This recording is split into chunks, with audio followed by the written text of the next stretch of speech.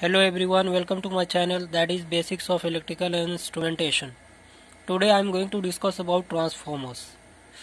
We often see transformer in our surrounding from that we get power supply to our home. So what it is, how it works, on what principle it works, I am going to discuss all this today. So please, before that please do subscribe to my channel.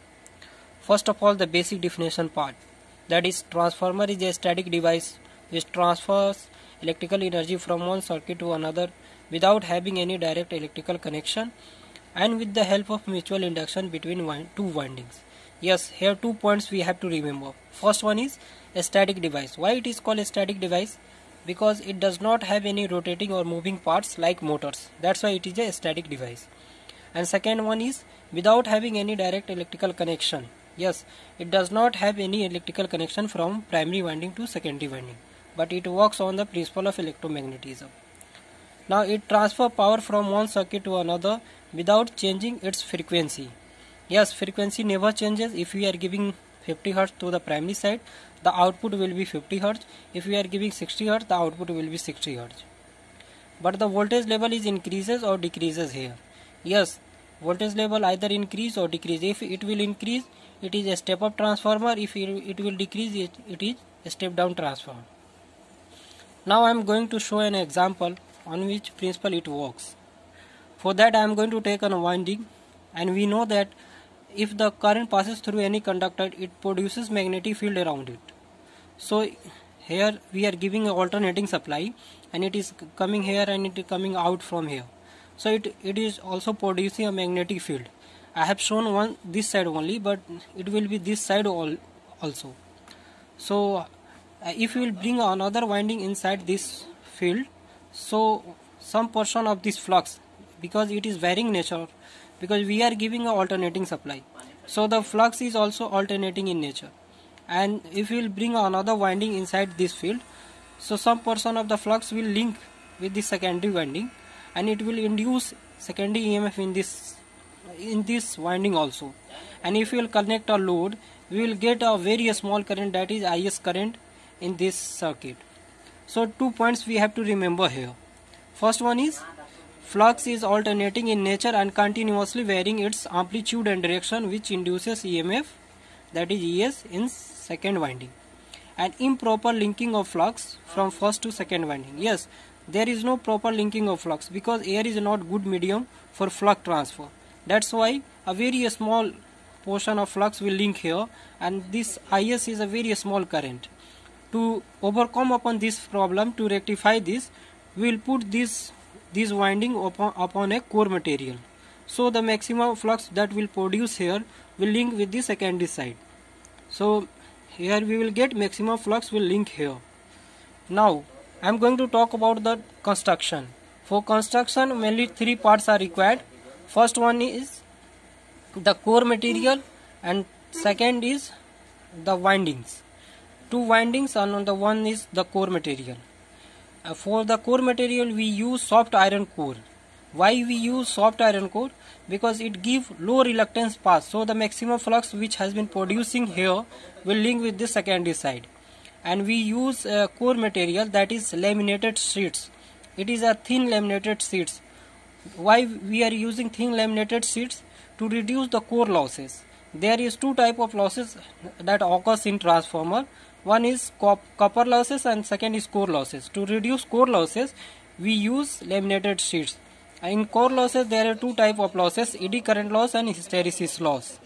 So we are what what is happening here we are giving a alternating supply here and it is uh, alternating supply when it is coming here and it is coming out from here. So it is producing a varying flux that is going like this and when it crosses the secondary side it will link with the secondary side and induces secondary EMF in the secondary winding. Again when it comes here and crosses the primary side so it will uh, induce a primary EMF in this primary side and that is back EMF and it is denoted as EP NP is the number of turns in the primary side. ES is the number ES is the secondary EMF that is induced in the secondary side. Ns is the number of turns in the secondary side is is the current in the secondary side and vs is the voltage across the load which have, we have connected now we have to remember one thing that Faraday's law of EMI states that the magnitude of induced EMF in a coil is directly proportional to the rate of change of flux linking the coil. So we get two relation here. That is ES. ES is the EMF in the secondary side which is equal to minus of NS d phi by dt. Here we are differentiating flux with respect to time and EP is EMF in the primary side which is equal to minus of NP d phi by dt. So why we are using minus sign? Because as per the Lenz law effect always oppose the cause and if we divide each other. So it will cancel each other.